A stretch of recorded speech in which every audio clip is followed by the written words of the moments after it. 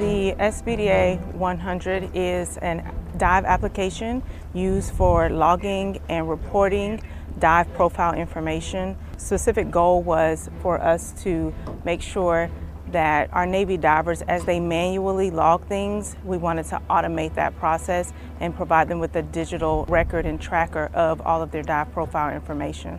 The Navy dive logging process hasn't changed very much in a long time.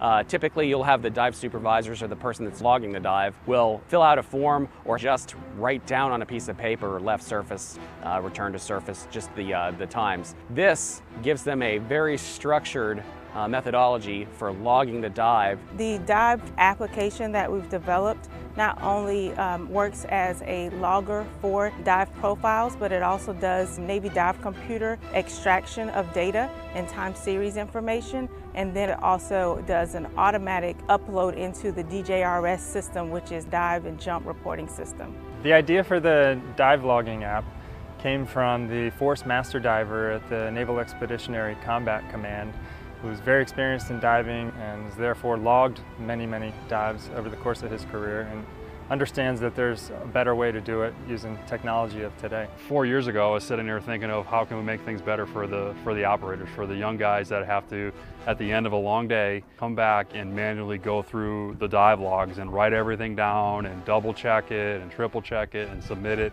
Watching the how many hours it takes to manually log dives just seemed like something that we could achieve and be able to capture with today's technology in a much easier way. I definitely think it's going to alleviate some of the administrative burden of manually adding dive tables and schedules into DJRS so we can focus on doing other things such as training and maintenance and um, diving and getting every, everyone qualified in what we're trying to do. The convenience and the efficiency of what you have actually, in my opinion, makes it a lot safer. The less we have to bring out when we do things, the better. And if you can encompass all that in one tablet, we might have something that, that can really streamline a lot of the planning. Because it's just push button. We can, we can get into that. The device is intended to benefit Navy divers around the world, specifically those that are doing surface supplied diving as well as scuba diving.